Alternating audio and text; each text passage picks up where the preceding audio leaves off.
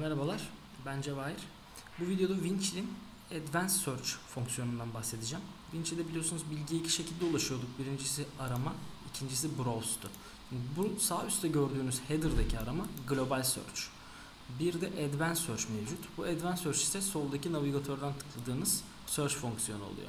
Buraya tıkladığınızda burada Advanced Search ve Search History and Saved Search diye e, iki tane sekme geliyor. Advanced Search'un altındayım şu anda. Buraya bir keyword yazabilirsiniz. Bir attribute'ün içerisinde geçiyorsa onu arar. Onun dışında burada gene tip seçebiliyorum. Mesela diyorum ki CAD dokümanları ve dokümanlar içinde ara ya da sadece dokümanların içinde arasın şu anda. Ee, daha sonra burada global search'te olmayan işte context seçebiliyorsunuz. Sadece e, my favorite context'e tıklayıp mesela add dedim. Ee, search dedim. İşte buraya tüm product ve library'leriniz geliyor. İşte diyelim break sistemin içerisinde yapsın ve breaks'in içerisinde yapsın bu aramayı. Ve engine bulur. 3 tane context seçtim. Şu anda aramayı 3 context arasında filtreledim. Ve burada önemli nokta parametreye göre de filtreleyebiliyorum. Mesela ben buradan doküman seçtiğim için direkt bunun altına dokümanların parametreleri geldi. Ben buraya revizyonun A olan işte state'i in work olan işte müşterisi şu olan, proje numarası bu olan artık hangi attribute'u, hangi parametreyi tanımladıysanız girdikten sonra search diyorum ve 16 tane obje çıktı karşıma.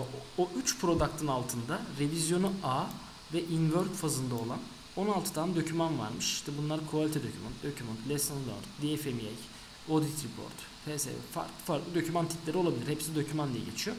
Bu arada bunları da filtreleyebildik. Sadece pipup'ları ara, sadece FMA'ları ara şeklinde. Advanced Search fonksiyonu bu şekilde kullanılıyor. Ve burada Advanced Search yaptıktan sonra ya da herhangi bir search işlemini yaptıktan sonra yaptığınız kriteriye burada yazıyor. İşte revision'ı A ve state'i in work olan document'ları şu kontekste aramış. Tamam. Ben bu aramayı her gün yapıyorsam örneğin her gün yaptığınız bir araba olabilir. Onu buraya sürekli yazmamak için bu aramayı kaydedebilirsiniz. Save this search'a bastım şuradan. Ve dedim ki rev a tire inwork tire dodge yazdım mesela. Save dedim.